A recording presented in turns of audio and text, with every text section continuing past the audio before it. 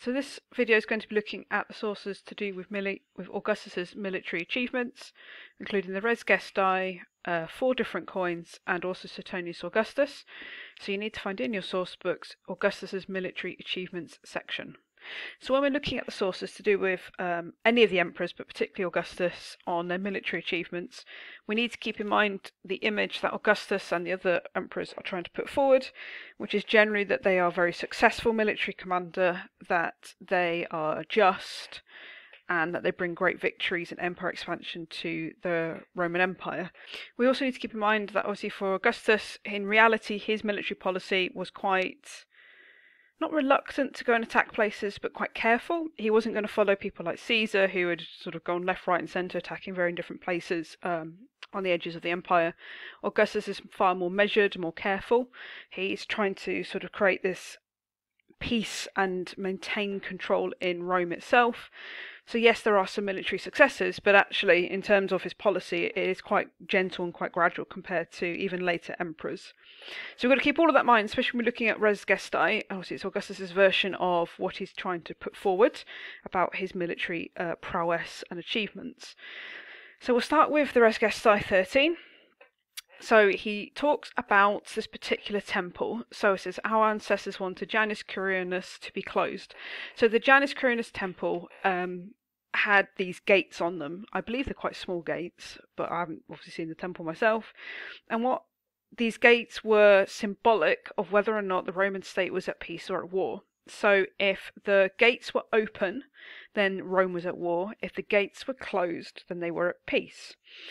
Romans like their symbols. So he says that, you know, our ancestors wanted these gates to be closed when throughout all of the rule of the Roman Empire and see peace had been secured by victory, like I just said.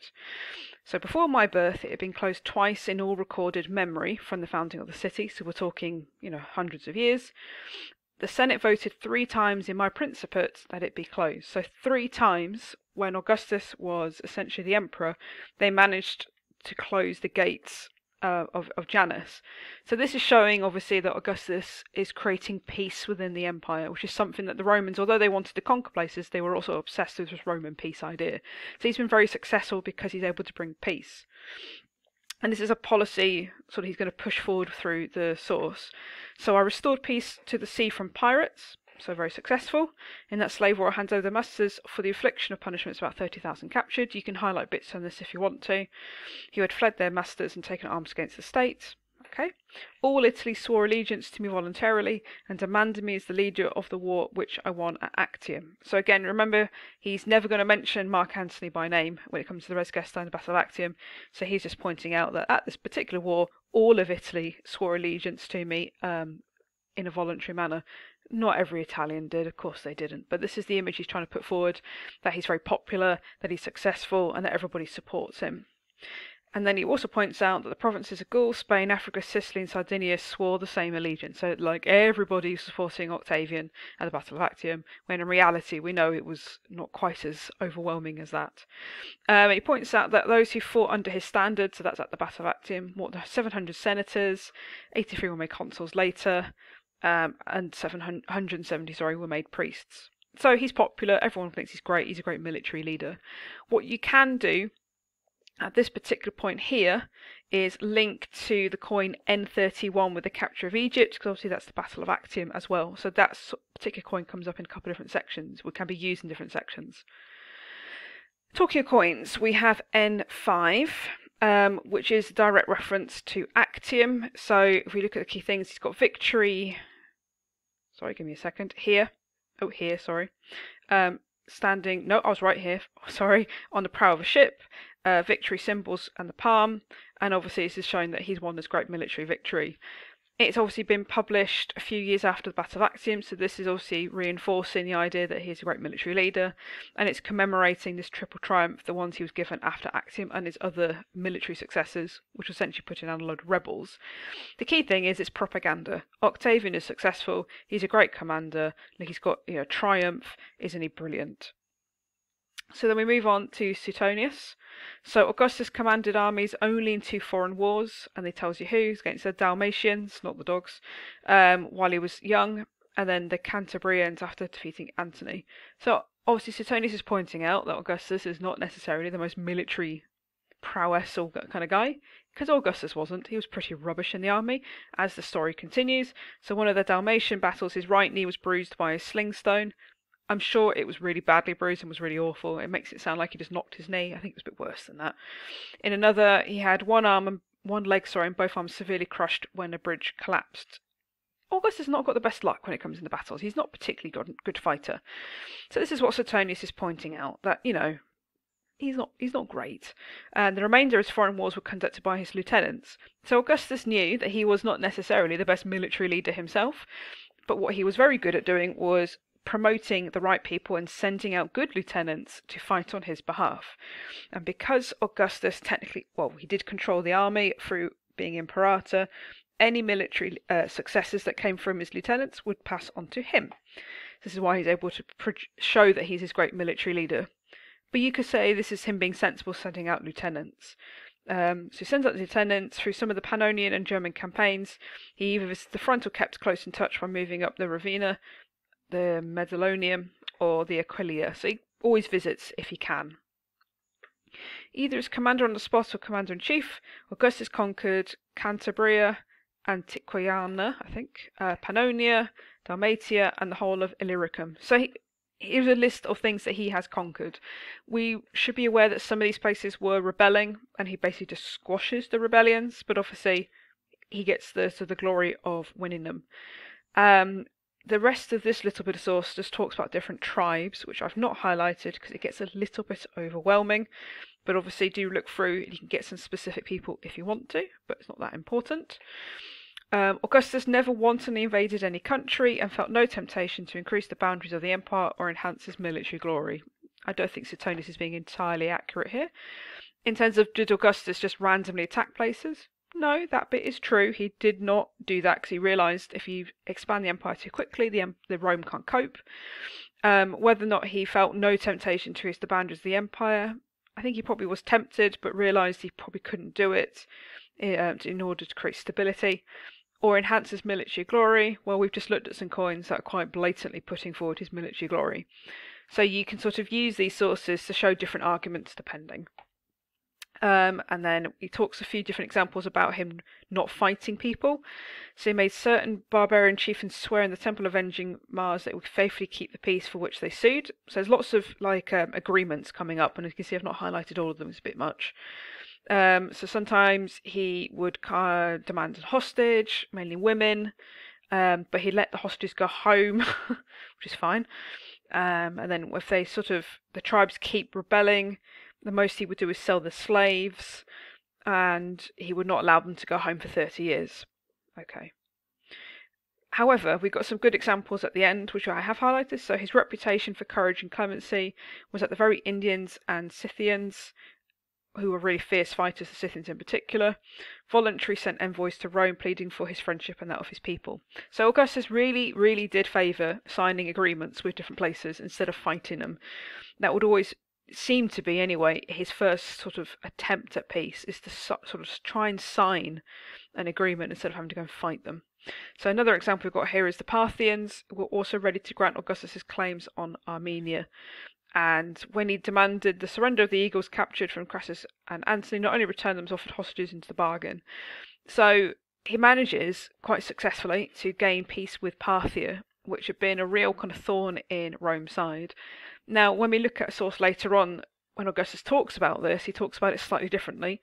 But essentially, the Parthians were ready for peace. Augustus wants peace. It's all to do with Armenia, which again is portrayed in a coin a bit later. He is able to get the eagles back, the standards, which made Augustus look like a fantastic military leader because he reclaimed the sort of lost glory. Then we're back to the gates. We've got the gates of Janus Quirinus have been closed more than twice since the foundation of Rome. He closed three times, as Res Gestae points out. He enjoyed a triumphal ovation after Philippi, Philippi, sorry, and again after his Sicilian successes, and celebrated three full triumphs on three successive days for his victories won in Dalmatia, uh, off Actium, and Alexandria. So this is basically him when he was consolidating his power early on. He gets three triumphs for it. Great military leader, easily wonderful. He suffered only two heavy and disgraceful defeats both in Germany. Not news for the Romans, to be honest. They often defeat, f- faced defeats in Germany. Um, the most famous one of them is Varus. Um, so Varus nearly wrecked the empire because three legions, their general officers and auxiliary forces, and the general staff were massacred. It was they were sort of trapped in this forest and they were quite literally slaughtered. Um, and obviously Augustus was so worried that when news reached Rome, he ordered patrols of the city at night to prevent any rising. So he was worried that obviously the Roman people would kick off at hearing um, what happened. And sorry, he carries on trying to create peace. So he prolongs terms of the provincial governors so everyone's got experience in the right places. Um, he celebrates in games when things start to improve, and he took it really badly and didn't sort of trim his beard, which is a sign of mourning and grief in Roman society. So obviously Varus, the Varus disaster, and it is known as the Varus disaster, really hit Augustus quite hard, and it was very humiliating. However, Augustus didn't take the blame for it. It was Varus's own doing. He was a bit of an idiot, um, and was sort of trapped in this forest and was slaughtered. So, as mentioned, um, Armenia, the way it's portrayed in the coins is that Armenia is captured.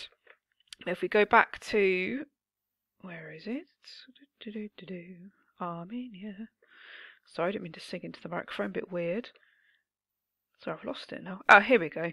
That we have the Parthians are ready to accept Armenia and what Augustus wanted. So it's not a military victory in the slightest. However, on the coins, because it is propaganda, it is shown as Armenia captured. Isn't Augustus a fantastic ruler? But we know the truth behind it. Then we're back to the res gestae again. So I extended the borders of all provinces of the Roman people which neighbour nations were not subject to a rule. Not entirely true.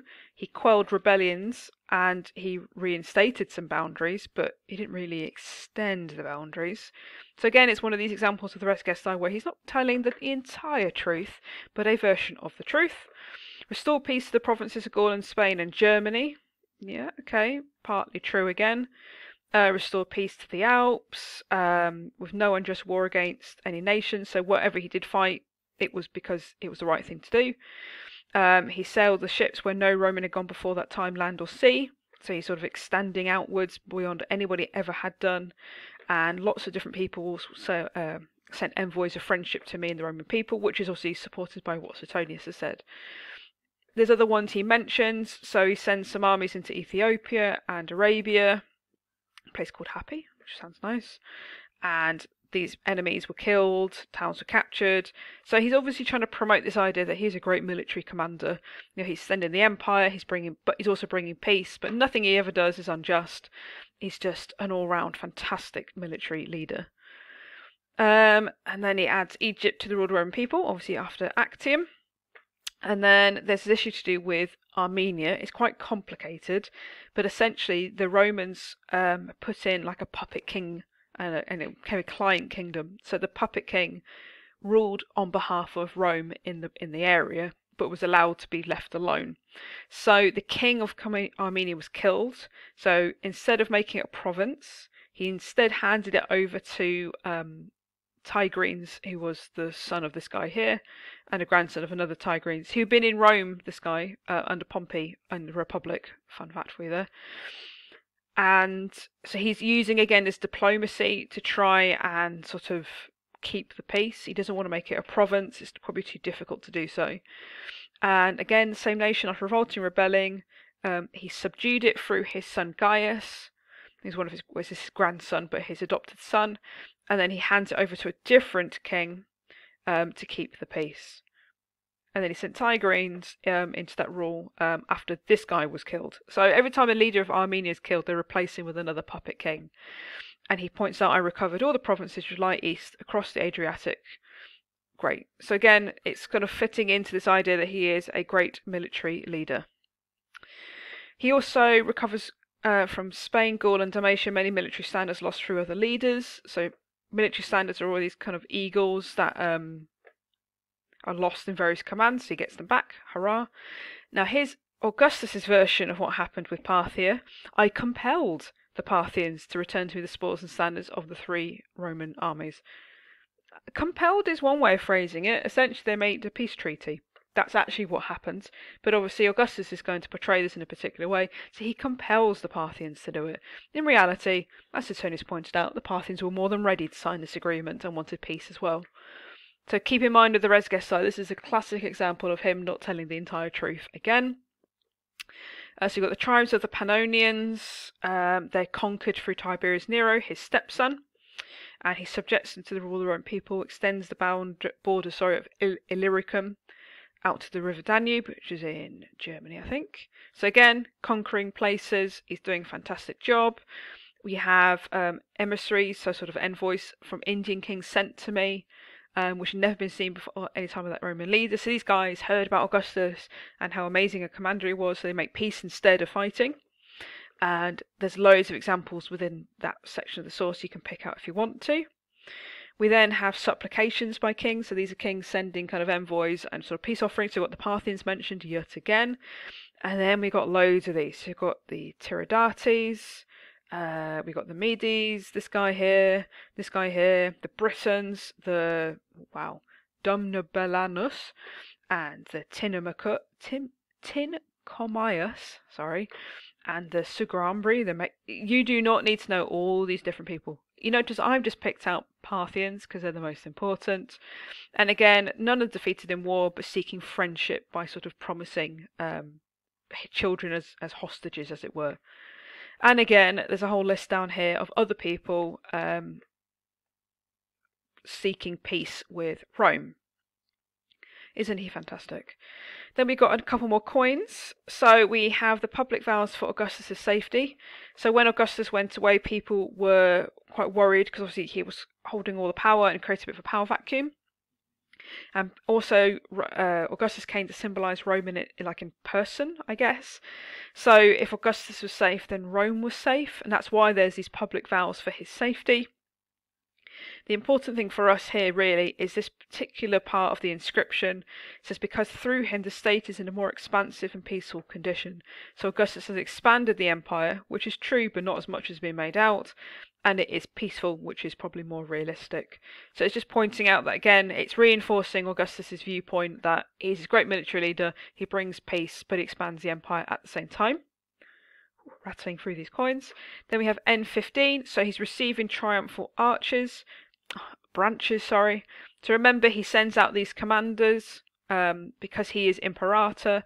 Because he's imperator, he gets the glory and that's what these triumphal branches are. They've been handed to him um, as part of his military success. So, if we look at the dates, it's around 1215.